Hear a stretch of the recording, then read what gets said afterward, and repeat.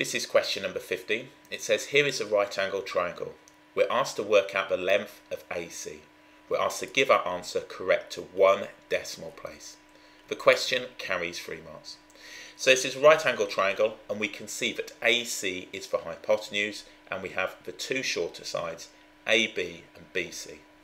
If we look at Pythagoras, A squared plus B squared is equal to C squared.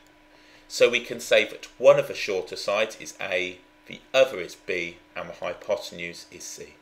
So all I'm going to write then is that AC squared, which is C squared, is equal to 39 squared plus 70 squared. So we can say now that AC squared and shown full workings, just getting a value for each of these, we're going to have 39 squared. That's going to give me 1521. So let's put this in. We got 1521.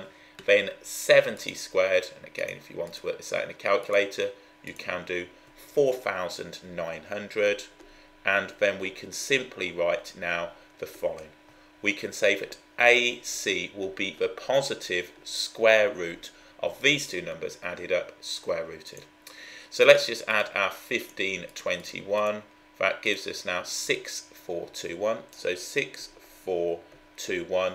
So AC, and we need to give our answer to one decimal place. So taking the square root of the answer, that's going to give us 80.1 centimetres.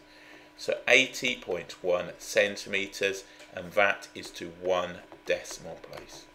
So I've shown full workings just to ensure I'm getting the full marks. Um, essentially, we can say that AC is a square root of 39 squared plus 70 squared.